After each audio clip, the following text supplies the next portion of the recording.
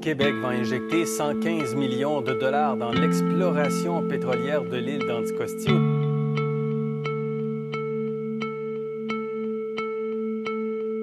L'île d'Anticosti, comme vous la connaissez, va rester exactement telle qu'elle.